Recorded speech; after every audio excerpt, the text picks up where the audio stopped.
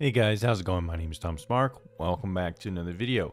Today I'm making a video about what is the best VPN to get for a dedicated IP. Now, not a ton of VPNs offer dedicated IPs, but as you can see from this person in my Discord server, a lot of people do like them. The cool thing about a dedicated IP, if you didn't know, is that it basically gives you an anonymous IP that you can use with your VPN consistently. Now, VPNs primarily are used for people for anonymous reasons. Um, getting random IPs is mostly a good thing. However, sometimes when you're using a VPN, you want some basic layer of anonymity, but you also want a consistent IP so websites recognize you. Um, they're not going to see a real IP, but they will see this IP given from a VPN provider. Now, this can be very useful when accessing banking services, various game web services, or even certain websites that just serve up annoying CAPTCHAs. Probably one of the biggest cons of VPNs um, while using them is having to do more CAPTCHAs. Um, certain websites will even kind of recognize you as a VPN user, and this can create problems. This is why dedicated IPs are sometimes even good for streaming or unblocking a lot of websites around the world. Um, so that is a really good pro about it. So which VPNs are good for dedicated IPs? Well, like I said, there isn't a ton of VPNs that offer them. Um, but in this video, I've rounded up some of the top ones on my tier list, and I'm going to be talking about which one you might want to consider using. So guys, some of the popular options out there are going to be something like Surfshark, NordVPN, and TorGuard. Now, each one of these services kind of has their own interesting thing about it. Now, Surfshark is a pretty big VPN provider that does provide dedicated IPs, However, the con with Surfshark and its dedicated IP system, as far as what I know about it, is that you have to kind of apply it to your entire subscription, and this can get very expensive. So let's say if you have, um, you know, two years or something like that, you'll have to add on a dedicated IP to that in turn, uh, current plan.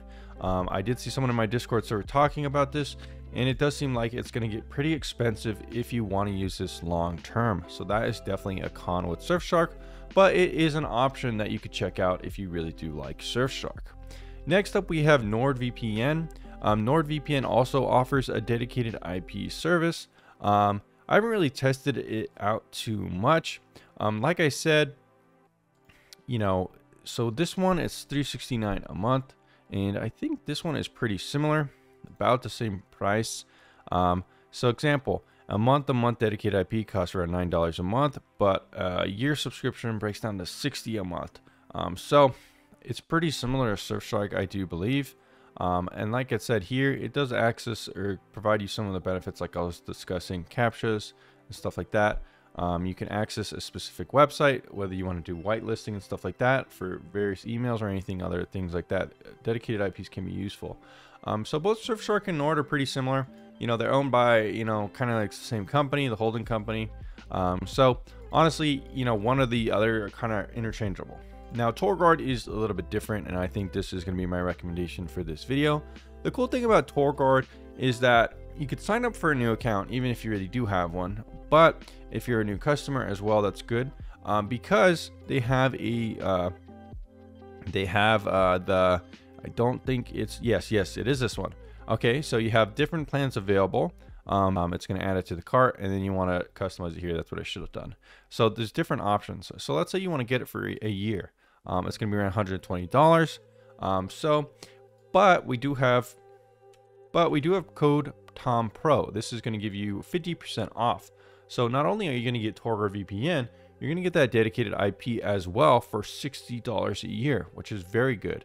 So with Nord and Surfshark, I do believe according to the pricing, um, it says it would be more like 60 70 80 dollars a year um, just for the dedicated IP on top of the VPN um, which one year right now is going for around uh, one year plan standard uh, around 70 so it's going to be around 130 140 dollars a year so yeah this is a much better deal 60 dollars.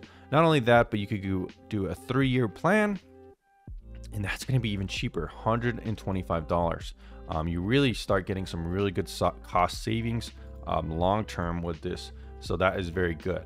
Um, so guys as you can see um, this I think is a clear one to go to. Now with Torguard's application the way you put it in is you um, first of all you're going to submit a support ticket to request the IP in the range you want um, the support answers really fast you go to settings and then you're going to go to the server tab and then just add a dedicated IP right here which is really nice. And then you can pretty much um, find it in your server tab here. You can even kind of favorite them, um, sort them and stuff like that. See dedicated IPs. There you go. I don't have one right now. And then, yeah, so really nice. Um, so overall, I recommend TorGuard for this video. Um, it's by far the cheapest option for a dedicated IP, and I always recommend it as the VPN to go with a dedicated IP. NordVPN and Surfshark aren't bad though if you want to check out those as well. I'll put links in the description down below. Um, as you guys know, none of these videos are sponsored. I'm just giving you the objective information in terms of what is cheapest and best in my opinion. Anyways, guys, also if you want, um, you might not like Surfshark or Nord maybe for this purpose of this video, but that um, Surfshark does have a really good um, data removal tool called Incogni, and you can see the little text there on the screen right now. Use my link down below if you want to remove information about yourself on the internet um, so you don't get doxxed. Anyways, guys, thanks for checking out this honest and video.